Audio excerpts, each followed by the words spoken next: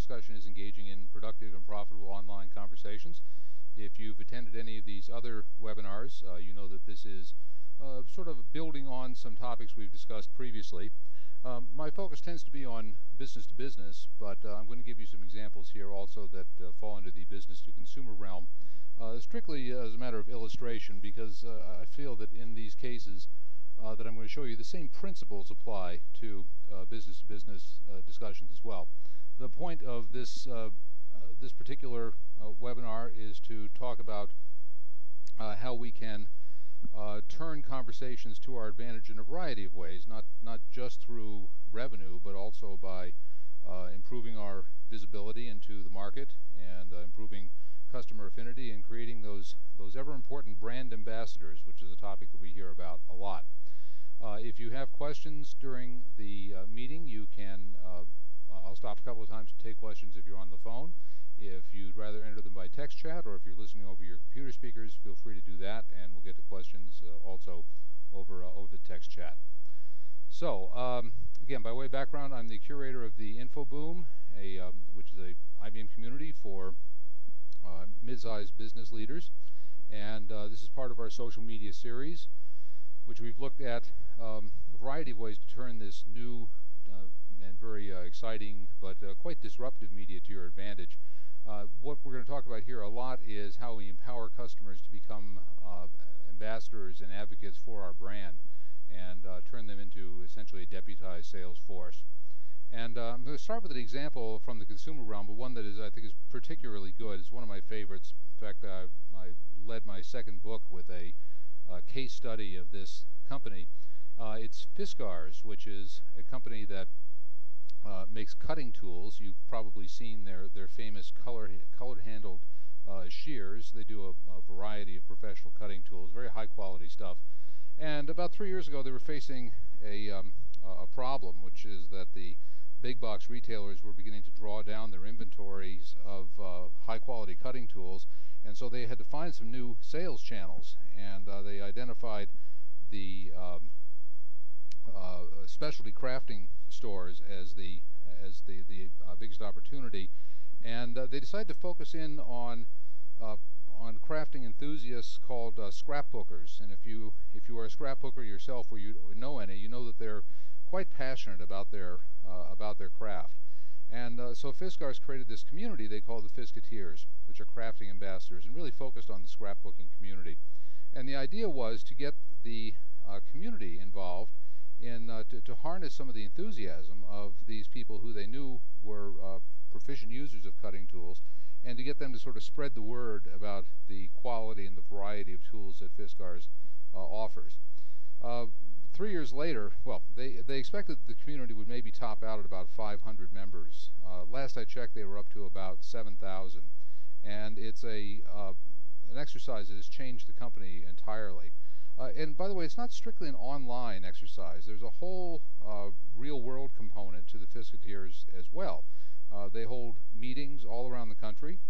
They uh, have uh, a national meeting every year, at which they invite uh, the members of these community of, of this big community, the Fiskateers, to attend and to to swap their tips and to to share their passion. And members, you can see, are quite um, are quite passionate. Some of them put their Fiskars number on their uh, license plate, uh, or have even had their their Fiskars uh, serial number tattooed on their skin. Um, the idea of the community is very interesting how they approach it. It's a member-only community, but pretty much anybody who applies can become a member. Uh, but the the idea that members are uh, this concept of membership being something exclusive, something uh, that's a privilege, was important. And I think you find that in, in online communities, uh, membership and status within the community is a very important driver of uh, participation. So the way it, the way it's transformed um, this whole company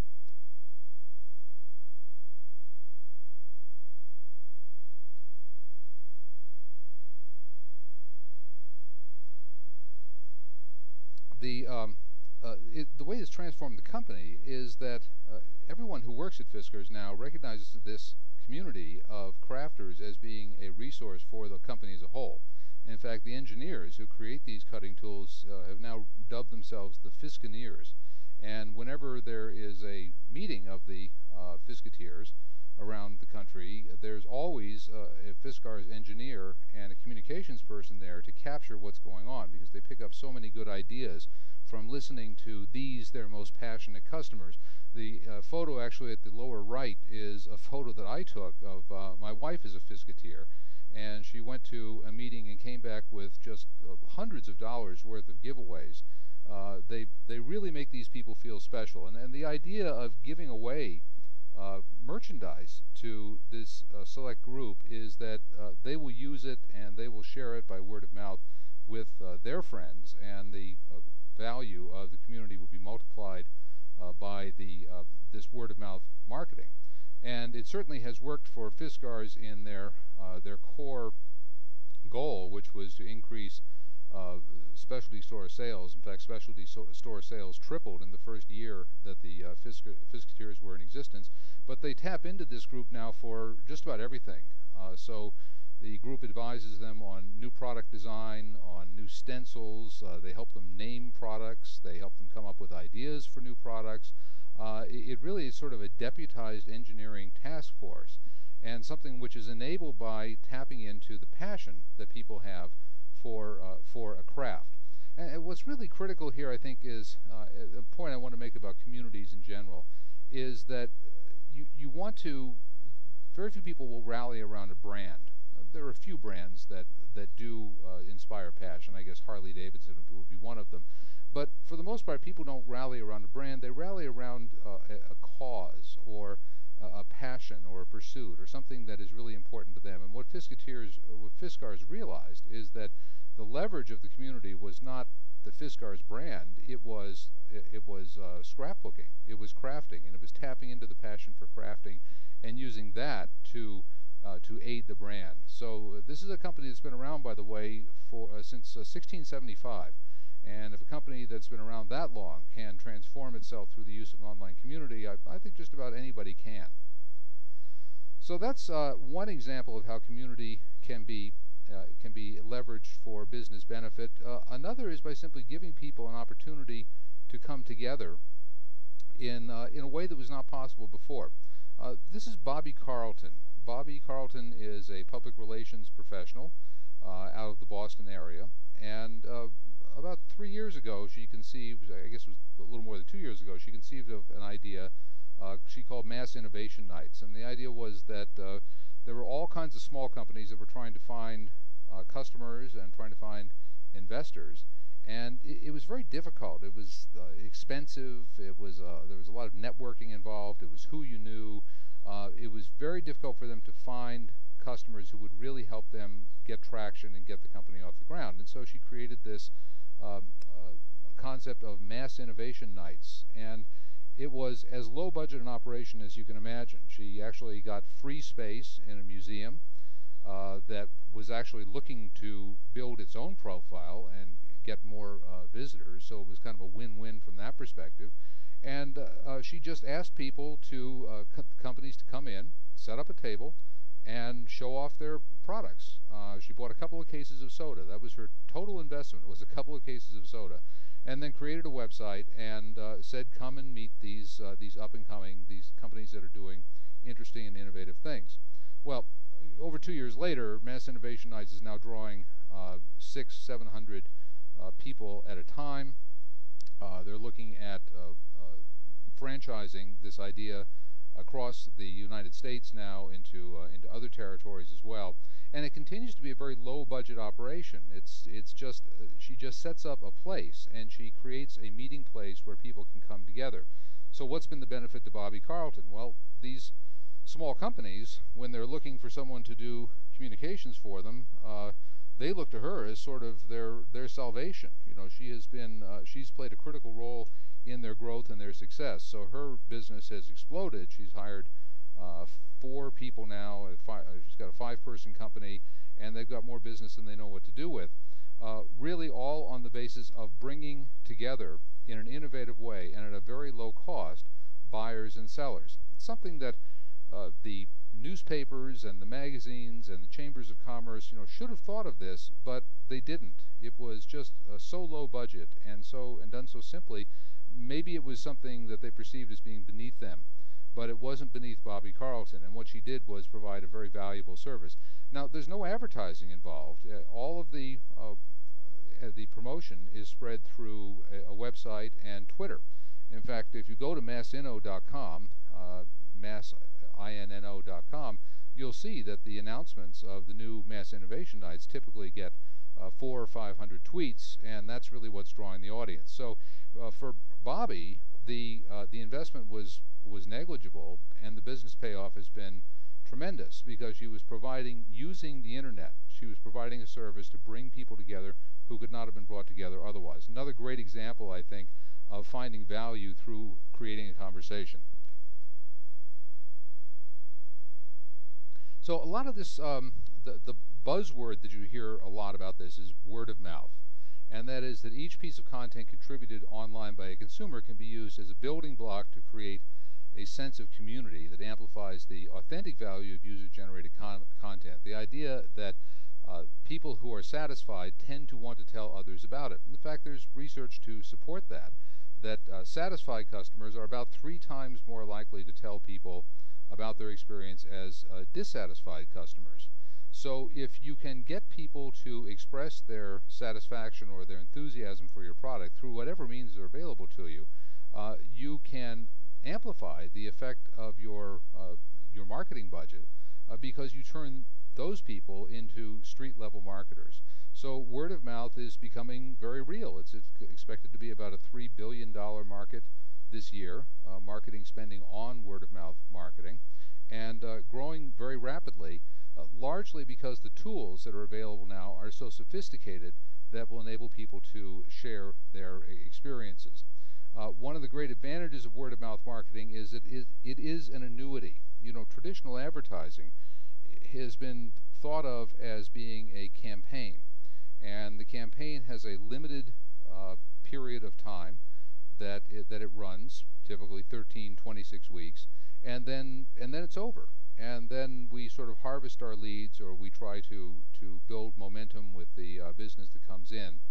Uh, but the payoff is is mainly at the front end. With traditional, with uh, word of mouth mar marketing, user generated content, the payoff actually comes at the back end. Uh, as word of mouth builds, as people share information with each other, the value of the community grows. So the more activity there is, the more people are telling each other about their experience, the greater the value of word of mouth marketing. And uh, conversely, the less you have to spend on it. You can reduce your traditional advertising budget because more of your advertising is being done by your, your satisfied customers. Now, of course, if you don't have satisfied customers, that's a different problem. But I'm assuming that most people on this call uh, are uh, do have happy customers and do create good products. And so if you can put those customers to work for you, you can actually reduce your marketing spend over time as uh, word of mouth takes hold. The cycle of engagement uh, moves from low engagement to high engagement, and that is that you know a visitor may pass by, come to a site to read a review, and uh, purchase a product, and then contribute a review of the product themselves. Uh, the more reviews are posted, the more visitors are attracted by the content. The uh, volume of reviews tends to reinforce the value of the reviews itself. So you've all seen this. If you go on Amazon, you know you'll see uh, Amazon was an early pioneer in this area. You can evaluate uh, products based upon other people's recommendations, and Amazon allows you to uh, sort uh, products by the um, strength of the customer review. Well, this becomes very powerful because the more reviews you accumulate, the more uh, customer approval there is, uh, the more people tend to weigh in and want to participate and add their voice to the community. So as these customers uh, become uh, involved with your company, as they feel rewarded by contributing their reviews uh, and contributing to the value of uh, that, that other people will find in the product and sharing their positive experiences, it tends to attract more customers. Certainly, if I was going to buy a product on Amazon and there were two reviews, uh, I would be less inclined to to believe those reviews than if there were 50. And if there are 55 star reviews, then that's much more likely to be a product that I'm going to purchase. Well, the same thing works in a B2B context. So if your customers are have a, a forum to express their satisfaction, it tends to draw other customers and it creates uh, more value for you. Uh, it makes your product appear more value in the uh, valuable in the minds of prospective other customers. Uh, this lowers your cost per lead. The inbound, uh, this is what's called inbound marketing. Uh, we talked about this in an earlier webinar. Inbound marketing is an entirely new kind of marketing that has been enabled by uh, the internet. Uh, I guess you could say that inbound marketing has existed in, uh, in the past in sort of drive-by marketing, store displays and billboards and such. But inbound marketing has uh, really been turbocharged by the availability of um, by search in, search in particular, but also by referral links as people drive traffic, uh, send uh, links that uh, send their uh, their friends and their family members and the people they influence to uh, products and to destinations on the web that they find valuable. And so as your inbound marketing increases, the average cost per lead decreases. And then if you take the slide two slides ago, uh, showing how word of mouth grows over time, you actually see your marketing budget uh, decline over time as increasingly customers' links and your search engine performance takes care of what you used to have to pay for. Uh, this is HubSpot data showing that the average cost per lead uh, of an inbound uh, marketing of inbound marketing is about uh, a third of that of traditional outbound marketing. Doesn't mean that outbound marketing isn't valuable. It certainly still does have value, but this is an area I think of great cost leverage uh, that begins with search engine optimization, but really is driven by quality content that uh, and quality products that convince people to share their experiences with others, and that results in leads coming in over the transom. Uh, anything you can do to get your customers participating with you is part of the cycle of creating word of mouth marketing. So uh, you know, submit a photo, uh, take a poll, write a review, answer or ask a question, share a story. Anything that you can do, those like buttons that we've seen popping up everywhere. You know, uh, Facebook's brilliant move last year to diversify the like button and make it possible for anybody to, uh, any website, to participate in the Facebook network. And so when someone clicks a like button on your website, they are communicating to their uh, network of friends, and the average Facebook member has about 130 friends, they are communicating the fact that they have endorsed uh, what they saw on that page, and then that becomes a source of, uh, of uh, secondary traffic for you. Uh, but really asking people to share experiences. You know, a lot of content, we hear a lot about content marketing these days and about consumer generated marketing. A lot of consumer generated marketing is just getting people to share stories, uh, to, to uh, invoke uh, feelings to uh, create memories that make them want to tell other people about their story. Maybe it's been their, you know, the first experience they had with a car, or uh, the first time they used a particular computer, or maybe they've been buying your laptops for the last 15 years and they found them to be incredibly reliable. Uh, what can you do on your uh, in your online presence to make it possible for people to share those kinds of stories? Um, about three years ago, there was a company called Grand Central that created a novel idea for a, um, uh, a single phone number that enabled people to uh, consolidate all of their phone numbers in, onto a uh, into just one number that rings through to whatever other phones they designate. Uh, this company was purchased for $95 million by Google, and the product uh, still exists. It's called Google Voice now. It's a core Google offering, and a very useful service if you haven't tried it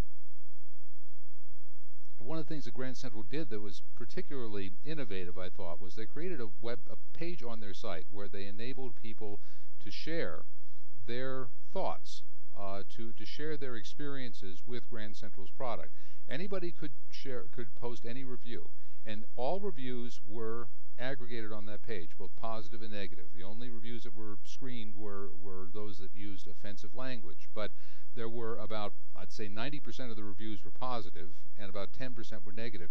Actually, the negative reviews helped to reinforce the value of the positive reviews because it lent legitimacy to the whole exercise.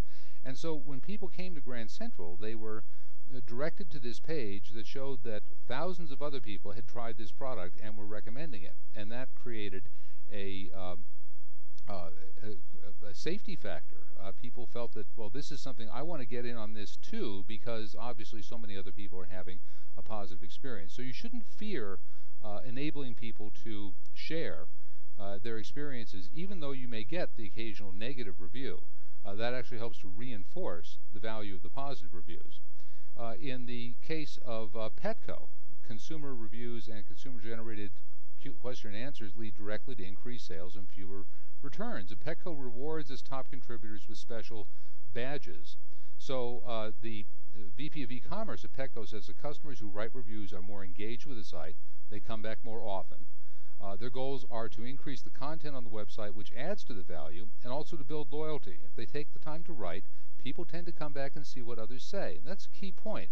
If you can get people to contribute to your site, whether it be your website, your Facebook page, your LinkedIn page, whatever uh, may work for you, when people contribute, they want to come back and they see what others see what others have said. So you tend to get repeat traffic, and traffic builds on itself. So um, the when you can, can build wish lists or create gift registries, uh, send a friend an email, fill out a survey, anything that makes uh, that encourages your customers to uh, to share an experience or share an opinion is actually an incentive for them to come back and see how others are uh, are voting or what opinions others are sharing as well. Community tends to build community. And in the case of Petco, and, and many websites are doing this now, particularly retail sites, are giving people badges that they can embed on their blogs or their websites that uh, show the level of activity they've had with the community, their contributions, and that celebrate their contributions.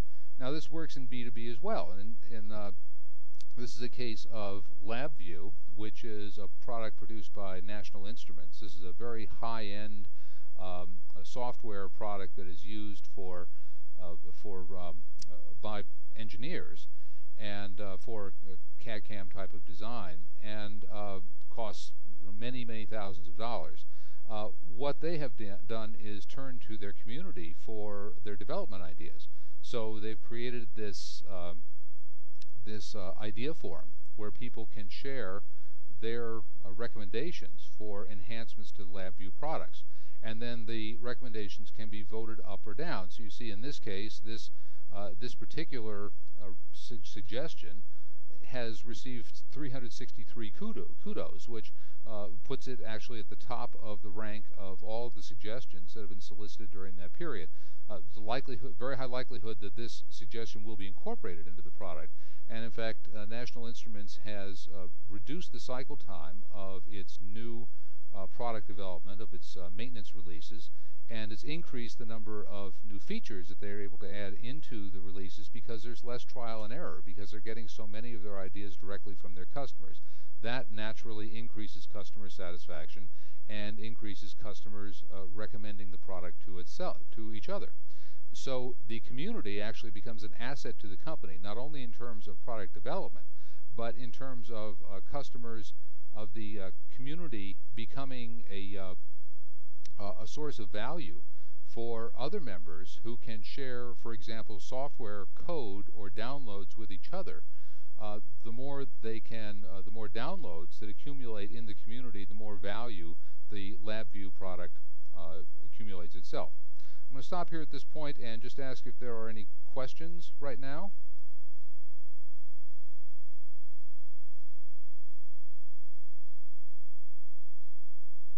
Uh, let's go on to some other opportunities.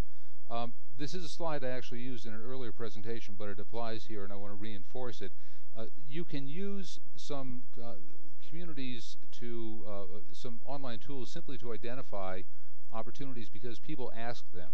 Uh, people are always out there online asking for advice and recommendation. On Twitter, there is a hashtag called RFP. There's actually a, a Twitter account that consolidates RFP uh, requests into a single Twitter account, and these are all uh, essentially invitations to bid on different kinds of contracts. Uh, go into a LinkedIn group and you'll see all over the place, you'll see people asking questions, seeking expertise. This kind of question, I'm operating a new data center in New Jersey with an evaporative cooling plant and is looking for green alternatives to conventional biocides. Any suggestions? Well, if that's your business, it's an opportunity for you certainly to recommend um, either your product or recommend products that the people that someone might uh, might uh, uh, want to pursue. Um, I should emphasize that when you are responding to questions like this, people are not looking for sales pitches; they're looking for help. And if you can recommend the uh, uh, the features that they should look for in a product, you're actually going to have a more credible experience with them than if you go in trying to trying to sell them your product. Uh, Quora, which is one of the hot new question and answer sites, is, full of questions like this. What are some green marketing or environmental PR companies in the uh, San Francisco Bay Area? Uh, just go into the topic, uh, different topical areas on Quora and look for the questions people are asking.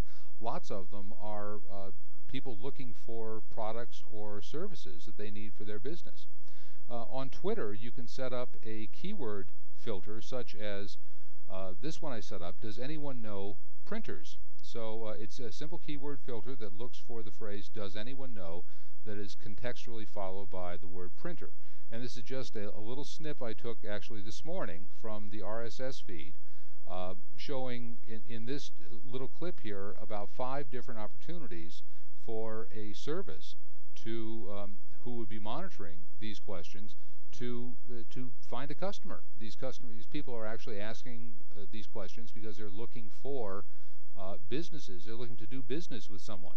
So you can monitor these kinds of keywords on Twitter, capture them in your RSS feeder, and just go in occasionally and look at the activity that's accumulated and see if there are opportunities for you to either uh, make a sale or to refer them to uh, a service or a business partner in your area who may be able to satisfy their needs. Very simple thing to do.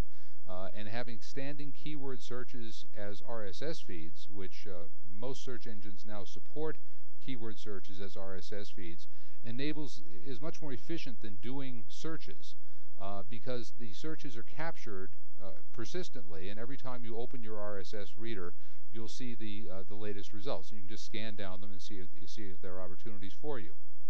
Again, I'm getting some background noise. If you're not in, uh, planning to ask a question at the moment, I'd ask you to please put yourself on mute. For market research, um, asking questions. Now, LinkedIn is a great resource for business-to-business marketers in particular uh, because it is so professionally oriented and because the people who are there all have uh, profiles which link back to uh, all, all of their activities link back to their profiles. So you get very little waste. You get very little spam in LinkedIn because everything is linked back to a profile. So you can get value out of LinkedIn by answering questions. You can also get value out of asking questions. Uh, and I'll show you uh, later a, an example of somebody who uh, who has done um, who uses LinkedIn effectively uh, the question answering features on LinkedIn effectively for his business. But also, uh, some people find that they the, the best way to harvest new business is to ask questions. So to seek advice from professionals, and then those professionals may actually become business partners uh, for you. People that you would never meet otherwise, you never have a chance to meet otherwise, you can now meet because you can express uh, an interest, a common need, and that serves as an introduction point. point and that may be a business partner, it may be a vendor. Uh, you may be the one answering the question. You may be a potential supplier. There are people on LinkedIn who have answered uh, many thousands of questions. It's really remarkable. When you look at the uh, the all-time leader on LinkedIn is this guy Dave Maskin, who has answered 42,000 questions on LinkedIn, and uh, there are other people who are in the tens of thousands. Now, why do they do this? Um, they obviously there must be some business value they say, see to it. Uh, to some extent, maybe they just enjoy uh, sharing, but really this is a way of expressing expertise. It's a way of spreading your uh, your skills around to a wider audience. And LinkedIn encourages this because LinkedIn has leaderboards in all of its uh, different groups, and of course there are thousands of groups on LinkedIn. Uh, each one of them will show you who have been the most active contributors to the group. So again, this idea of uh, celebrating uh, success, celebrating your most active contributors, really, really works. And uh, those people do this because there is business benefit they get out of it. They get business leads, they develop expertise, they develop a reputation as being a go-to person uh, for uh, for the area of specialty that they have. Now, uh, Dave Maskin's a particularly interesting guy. He's not an easy guy to get hold of, but he has published some uh, some um, of his of his secrets. And what he does is is very interesting. Actually, it's an unusual business. He is hired by companies at trade shows to do a specialized task, which is he will create names out of wire. So he takes a piece of wire and working with uh, simple tools in his hands, he fashions names. And then he'll give the name, the, the, the, product to the person in the booth. Now, before he goes to a trade show, uh, so a company will contract with Dave to be sort of uh, an attraction at their booth at the trade show. Before he goes to the trade show, he joins a LinkedIn group associated with the show to let people know that he'll be there and he lets his LinkedIn network, which is quite large, with 42,000 responses, he obviously has a, a, very large LinkedIn network. He'll let those people know that he's going to be at the trade show. A lot of people are interested in meeting with this guy because they want to know what drives him. Uh, he goes there effectively acting as an employee of the company, even though he is a contractor. Uh, he walks around the floor and gets other exhibitors to um, uh, tells them about this service that he offers for free at the booth uh, invites other exhibitors to come over and to get their name done in, uh, in wire form. And then after the show, he thanks everyone in the LinkedIn group for uh, stopping by, and, uh, and he mentions the client's business and, and the website. So he's doubling down really on the, on the, um, uh, the value of LinkedIn, both as a pre-event and a post-event form of, um, of a lead generation. Uh, the value to the company that hires him is that while he is fashioning the name out of wire, uh, the attendee is standing there in the booth watching and waiting for uh, the for the project to be finished, and that's a lead generation opportunity. He asks for their business card. Salesperson comes over, starts a one-on-one conversation, and then attendees carry their wire names around the show floor, driving even more attendees to the booth. So this is a, a case of doing something remarkable using LinkedIn as a catalyst to get people to come and see this remarkable thing he's doing, and uh, then uh, then um, uh, allowing word of mouth to do its magic from there. Can you see the screen right now? I'm, my sharing preview window has turned blank.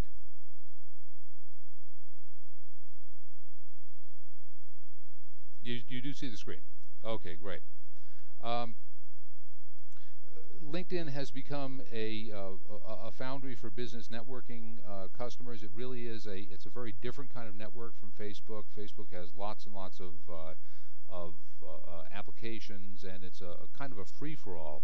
Uh, LinkedIn has only limited relationships with limited business partners, but those partners can bring considerable value to the LinkedIn community and can can tap into this community of over 100 million business professionals right now. So for B2B uh, companies, uh, in a case like Hoover's, where they're bringing a location-based uh, business network functionality to LinkedIn customers, so uh, people who are members of LinkedIn can actually uh, tap into a, uh, a mobile application that shows them information about customers that they may, prospects that they may be visiting. this is a, a, case where LinkedIn adds value to its members through these selective relationships that it has with third parties, such as SlideShare and, uh, and such as TripIt, uh, business-oriented social networking services.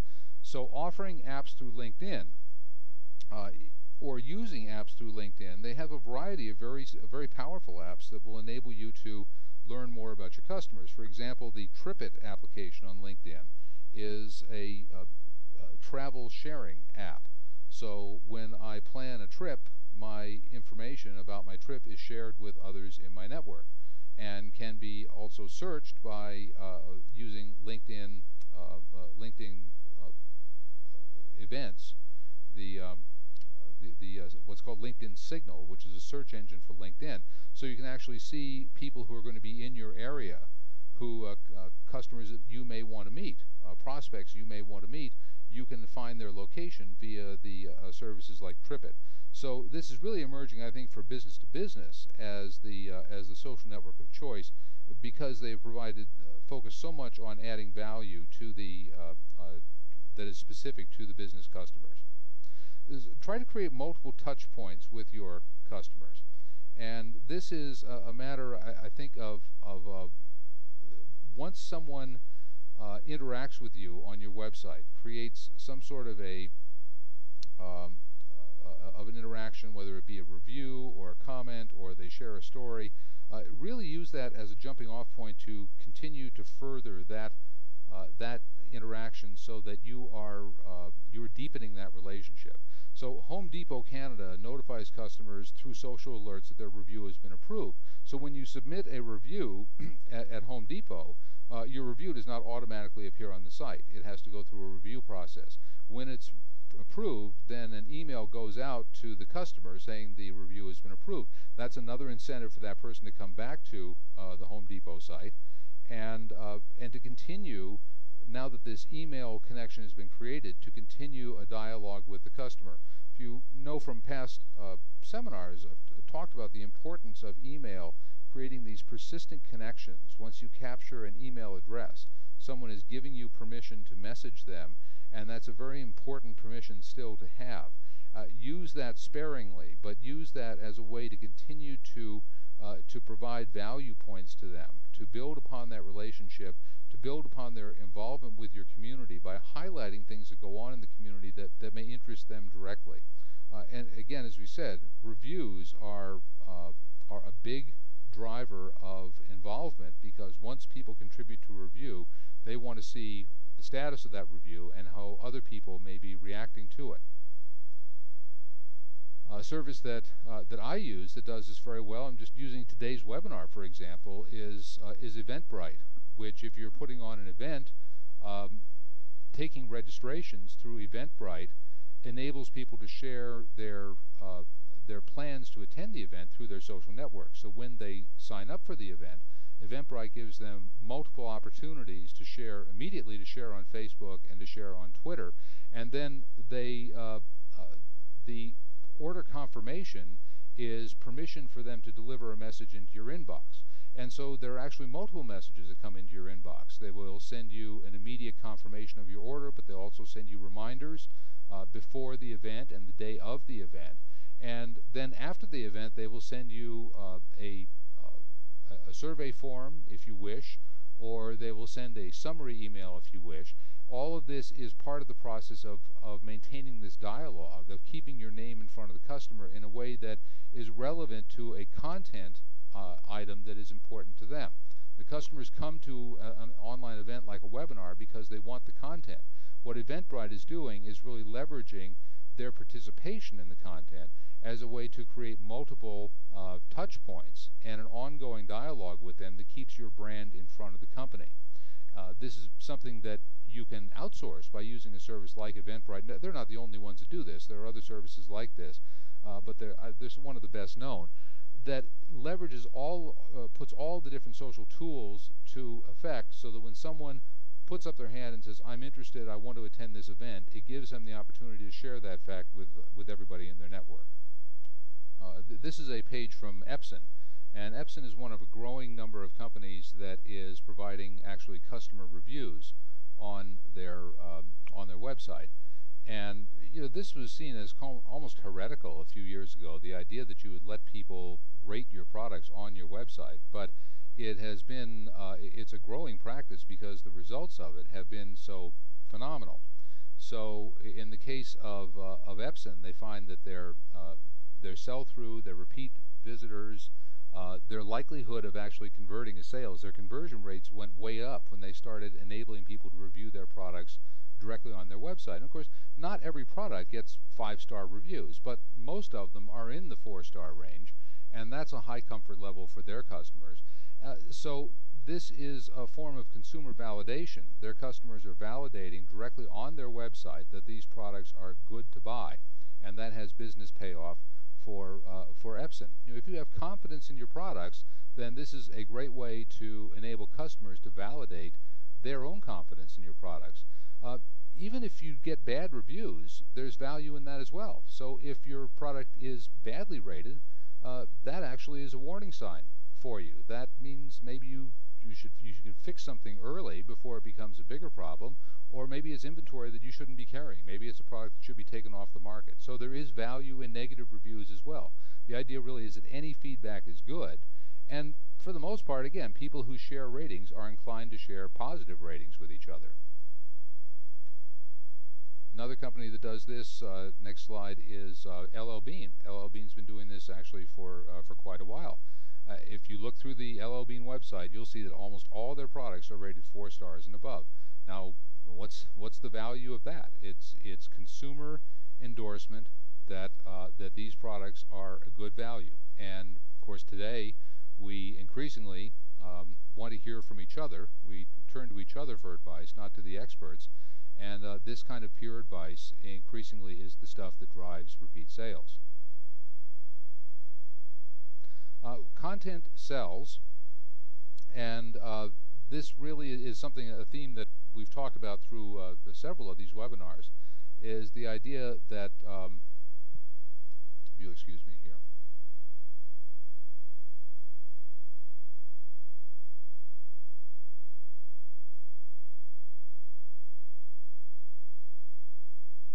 Uh, content content sells because it creates trust, and trust is something that's uh, harder and harder to come by these days. So when um, uh, trusted content, that which establishes you as an expert, is uh, is increasingly the only way you can get the attention of the customer. So you get companies like uh, a painting company that does a magazine for professional painting contractors, or you get uh, Marketo, which has its which did a partnership with Jellyvision uh, to do a version of the You Don't Know Jack game for marketers. And this kind of creative marketing, which also has uh, professional value, is driving the people finding is driving uh, more uh, responses, higher lead generation than they could get through any other form of conventional marketing because of course people are filtering that stuff out. But they are fi we're finding that when they double down on their uh, content marketing, on delivering value and creating trust, it tends to build upon it, uh, itself. So McKinsey found that traditional marketers typically spend about 60% of their budgets on paid media and about 20% on content creation. Marketers that are embracing custom content devote about 30% of their marketing budgets to paid media and 50% to content. You know, I work on Procter and Gamble's, uh, I serve on Procter and Gamble's digital advisory board, and, and this is what they are going through. They are going, moving very strongly to uh, an earned media uh, approach to marketing, in which content and customer endorsements are selling the products because they find that's much more powerful when customers talk about the products than when uh, Procter and Gamble does. Move on to the next slide, please.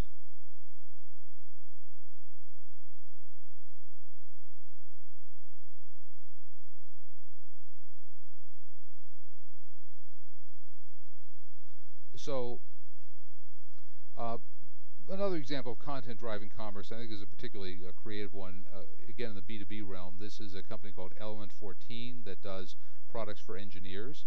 Um, the Ben Heck Show is a, uh, it's a hacking um, video series in which this guy creates some uh, very uh, innovative hacks, mainly of hardware.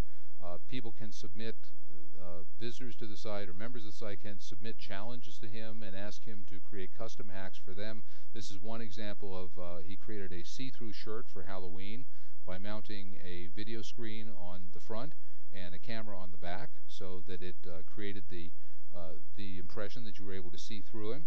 But what Element 14 does, again, their electronics distributor, is when Ben creates these marvelous, innovative hacks, they also take people to a landing page where they have all the materials that he builds, that he uses to build that product, uh, available on that landing page. In fact, their sales have increased uh, about 15% in the six months they've been doing this. Their sales directly from the Ben Heck page uh, have uh, they, they believe that Ben Heck has driven about a 15% overall increase in sales because of the popularity of this video series and the fact that engineers who watch it uh, want to do this themselves. Uh, engineers love to tinker, and so they want to build something just like this, and they can get all the parts uh, conveniently in one package at Element 14.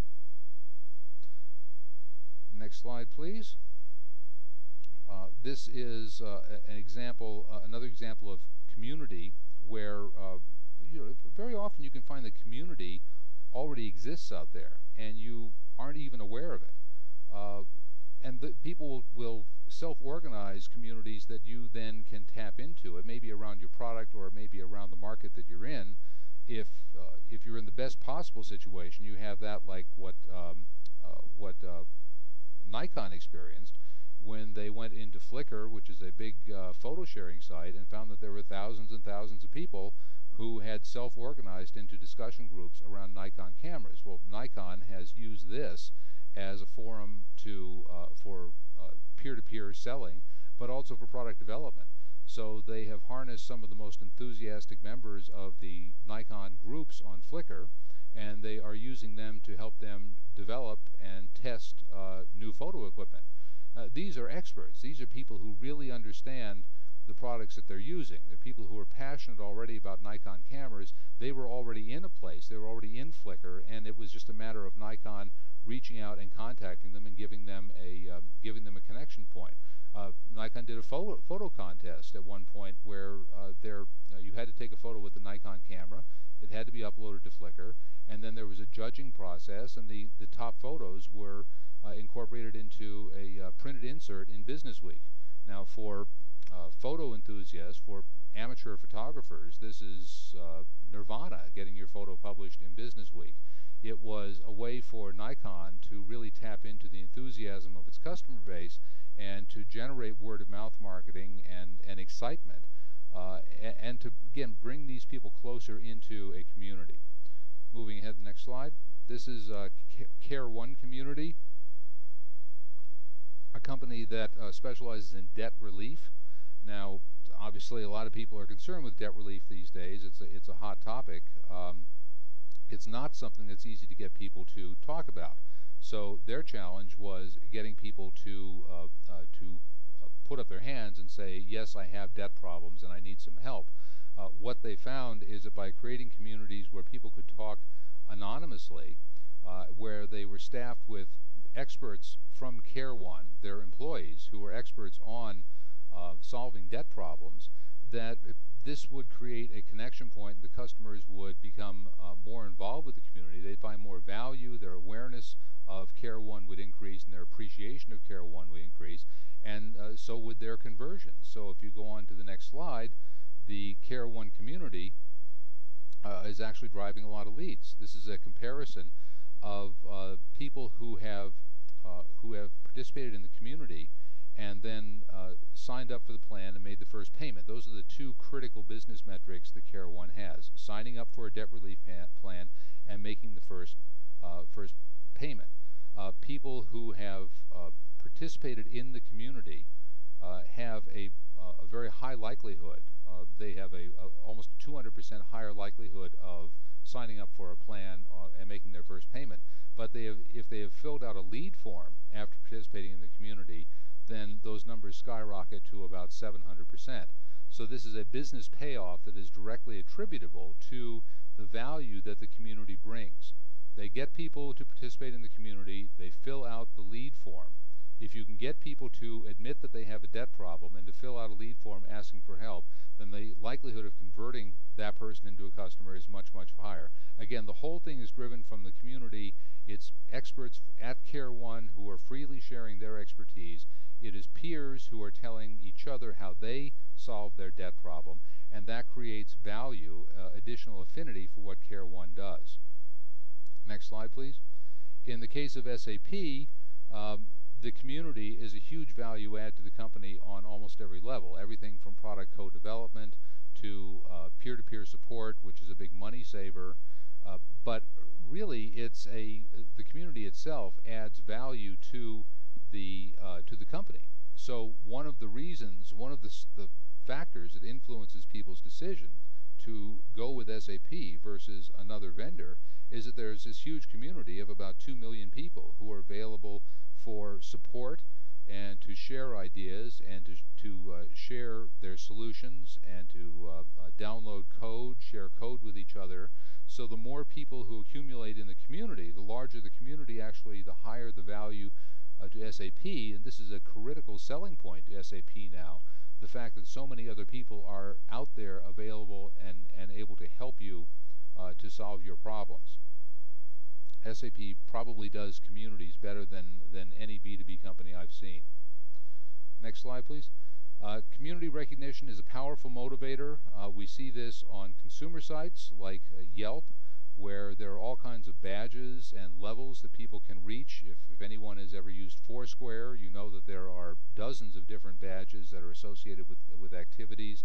People like to accumulate these things. There's no cash value to them. They have no economic value but simply having the badges that accumulate next to your name, next to your profile, raises your visibility in the community, and that's a motivator. Well, that works in B2B as well. So if you move on to the next slide, um, by the way, uh, competition is another uh, component of that.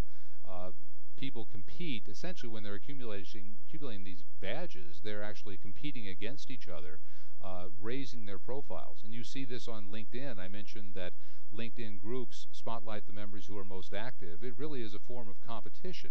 The, uh, the more questions you can answer, the more contribute you contribute to the group, the higher your profile in the group. This is a key dynamic of online communities, and it works very, very well.